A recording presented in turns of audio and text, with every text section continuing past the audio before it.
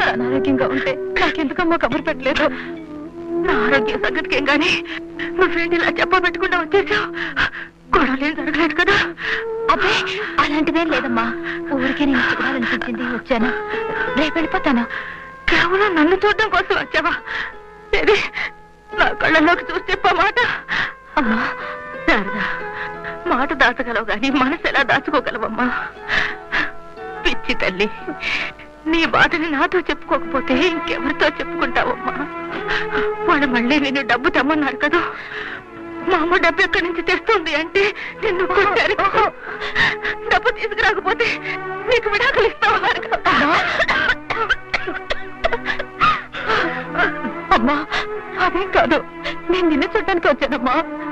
పిచ్చి తల్లి బిడ్డ ఆకలేసి ఏడుస్తుందో ఏదైనా బాధ వల్ల ఏడుస్తుందో కన్న తల్లికి బిడ్డ చెప్పకపోయేలా తెలుస్తుందమ్మా. అమ్మా. నేను బతుకుండగా నీ బతుకు నాశనం అవుతుంటే చూస్తూ ఊరుకుంటానా తల్లి? అమ్మా నీకు అసలు ఆరోగ్యం బాగోలేదు. ఈ దిగుళ్ళేవి మనసులో పెట్టుకోకు. నేనేదో ఒకటి సర్ది చెప్తాను. అలాగే పొద్దుటి నుంచి మనసు దిగే ఓపిక లేక వంట కూడా చేయలేదు. ఆకలేస్తుంది. కాస్త వంట చేసి పెట్టమ్మా. అలాగేనమ్మా.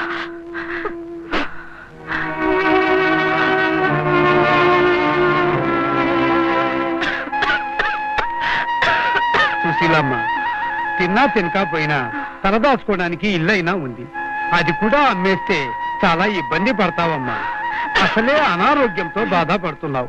నీకేమన్నా అయితే. ఎలా రాసి పెట్టుంటే అలా జరుగుతుంది.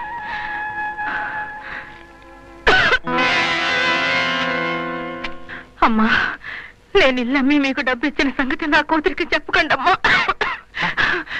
నేనేమైపోతానో బెంగ పెట్టుకుంటుంది. అలాగే. అమ్మా నేను బతికినన్ని రోజులు బతకను. నేను పోతే మా శారదకి కష్టం పంచుకునే వాళ్ళు కూడా ఎవరు లేరు. నా బిడ్డని మీ బిడ్డలా చూసుకోండి అమ్మా. అలాగే.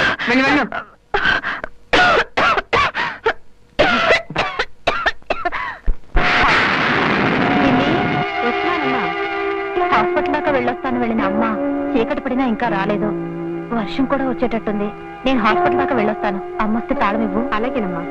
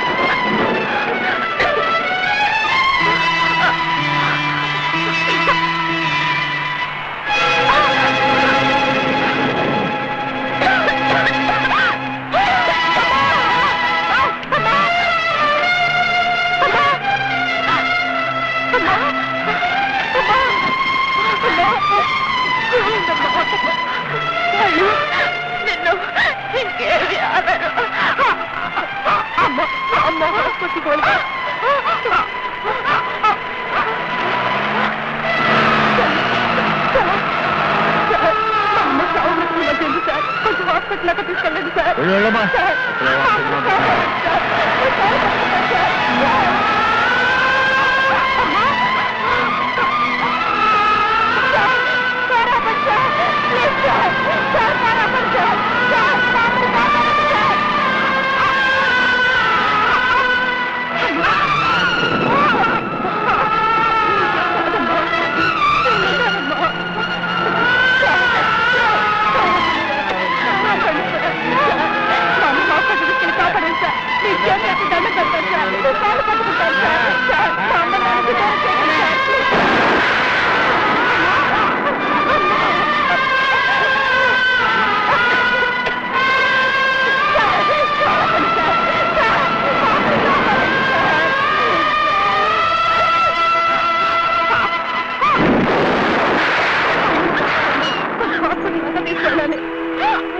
సరే పదనమ్మా రండి.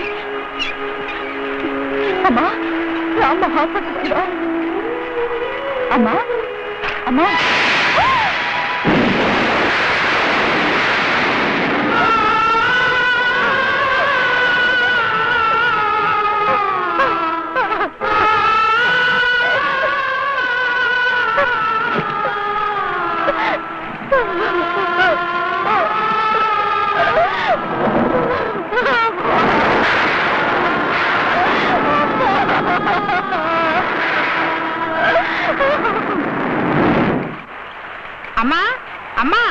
ఆవిడ గారు తల్లి అసలు దిగబడింది వచ్చిందా మహాతల్లి?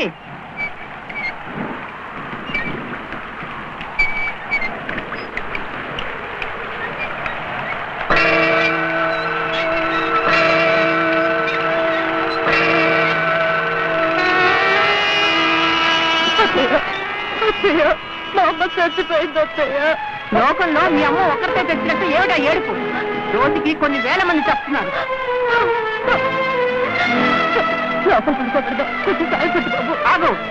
ఏమే? శవాన్ని ఇంట్లోకి తెచ్చి ఇల్లు శ్మశానం చేద్దాం అనుకుంటున్నావా? లోపలికి రానివ్వకపోయినా అలా వరండాలోనైనా పడుకోబెట్టడం అత్తయ్య. వీలేదు. అయినా చచ్చిన దాన్ని శ్మశానానికి తీసుకెళ్ళకుండా ఇక్కడికి ఎందుకు తీసుకొచ్చాం మేము ఏ విషయం పెట్టి మీ అమ్మని చంపామని నలుగురు అనుకోవడానికా?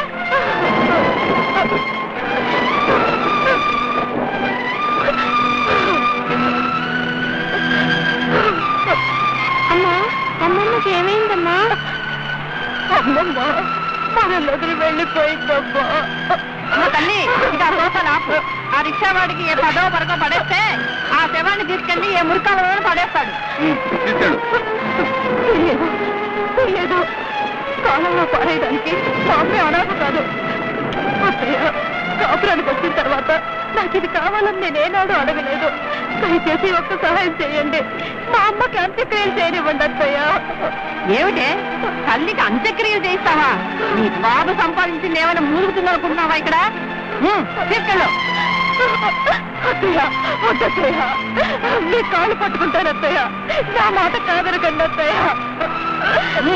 అది అలాగే ఏడుస్తుంది కానీ నువ్వు లోపల తీసుకెళ్ళరా? ఇంకే అలా ఏడుస్తావు? ఎంత ఏడ్చినా మీ అమ్మ తిరిగి రాదు. చచ్చిన దాన్ని కాలిస్తేనే కాలంలో పడేస్తేనే. బావా మీ అమ్మ కూడా ఇదే పరిస్థితిలో ఉంటే నువ్వు ఇలాగే మాట్లాడతావా? నీకు అనవసరం ఏంటి చూస్తూ నిలబడతావా.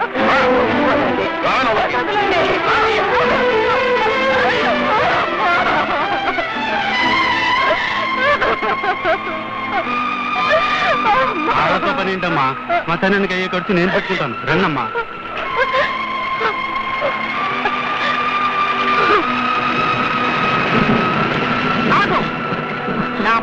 వెళ్తే మళ్ళీ ఈ గడప తప్పడానికి వీలేదు ఈ రోజే నువ్వు చచ్చావనుకుంటావు ఇప్పుడు మాత్రం బ్రతుకున్నాను అనుకుంటున్నారా పదమ్మా.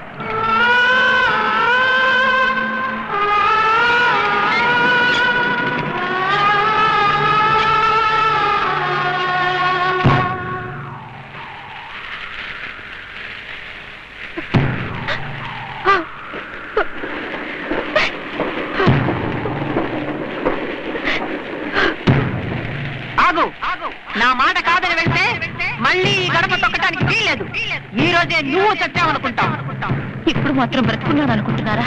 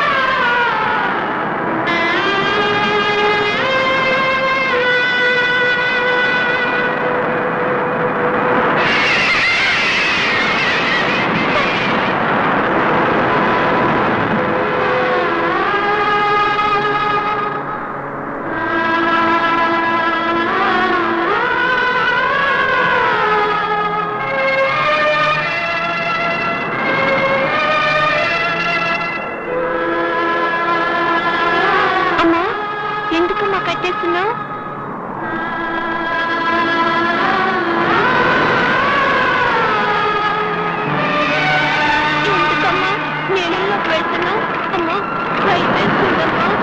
బయటకు వెళ్ళిపోదాం. అమ్మా అమ్మా.